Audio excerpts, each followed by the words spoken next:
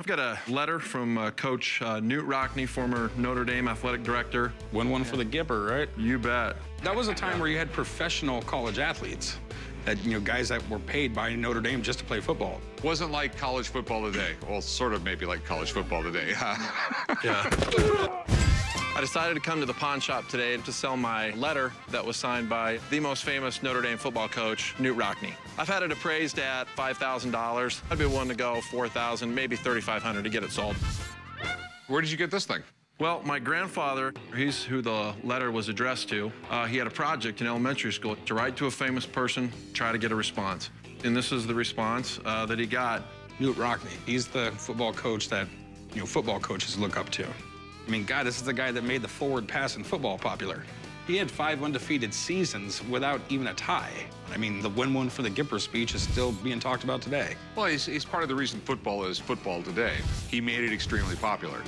Knute Rockne is one of the greatest coaches ever. His strategies and tactics changed the way football was played and made it a national obsession. A couple things I think are interesting about the letter talks about the effects of tobacco on athletes. So your grandfather wrote a letter to Knute Rockne about athletes and cigarette smoking. That's right. I don't think the science was really out there as far as what kind of effect it had on athletes. Dear Edward, it has been my experience that tobacco slows up the reflexes of athletes and does nothing constructive. Any advertisement to the effect that smoking cigarettes helps an athlete is a falsehood. Yours truly, Knute Rockne. Yeah, I mean, everyone knew cigarettes were bad for you. Yeah, duh. Um, even back then. Uh, but remember, you had really powerful interests who did not want that in the newspapers or on the radio at the time. The other thing I think is really interesting, if you'll note the date on there, it's March 13, 1931. So 18 days after the date of this letter, he died. So this has to be one of the last things Coach Rockne ever signed. I mean, my big concern is whether or not he actually signed it. I mean, it was real common back in the day. People who were famous, they would get all these letters in from people, everyone wanting autographs, and they generally assign somebody to sign everything for them. Let me get my guy down here just to make sure this is an authentic signature of Knute Rockne. Uh, because if it's signed by a secretary, I don't want it at all. That sounds great. All right, I'll be right back. Thanks. I know it's real. I don't have any doubt that it's real. Uh, but it'll be nice to receive some verification of that and uh, get somebody else's uh, expert opinion as to what it's worth as well. Drew! What's up, gentlemen? How you doing, buddy? All right, good to see you guys. I'm a forensic document examiner, and I love my job. Every day it's a whole new whodunit. Knute Rockne, you were telling me, right? Yeah. The legend. Well, at least I'm thinking it might be him. You're hoping it's good, right? Okay. What a fascinating uh, life this guy had. He was like pretty much one of the founding fathers of college football. I know that he's only lost like 12 football games in his entire career. I mean, that's unbelievable. I don't see too many of these, so if this thing is authentic, it's going to be worth some money. In the 1930s, actually, college football was the biggest thing there was. Knute Rockne was at the top of his peak, so it's very possible this could be a secretarial, so we're going to have to take a really close look at it to make sure. Now, it is dated March 13th, 1931, so this was right before he died. Appears to be University of Notre Dame letterhead.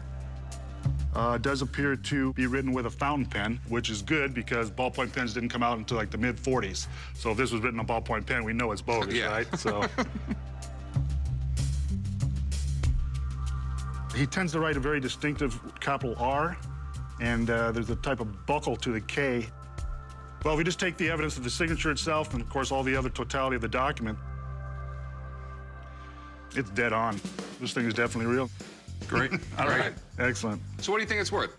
Now, it is interesting that he is talking about cigarette smoking, and this is years and years and years before the Surgeon General said it was bad for you. So it would be worth more if it was a handwritten letter, okay?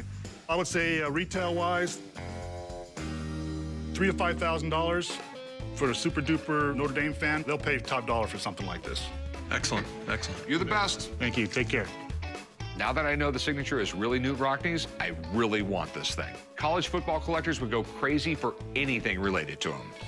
All right, so how much you looking to get out of it? I probably want 5000 bucks for it. To get that kind of money, you're gonna need to open up a store in Indiana. You have to be realistic. I have to make money off this thing. I'll give you 1500 I can imagine a lot of Notre Dame fans come through your store.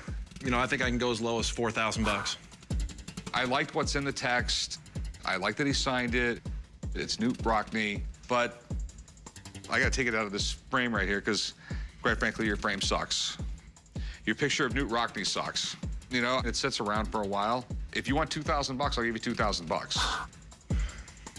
I'm probably looking to get more out of it than that because of the date on it.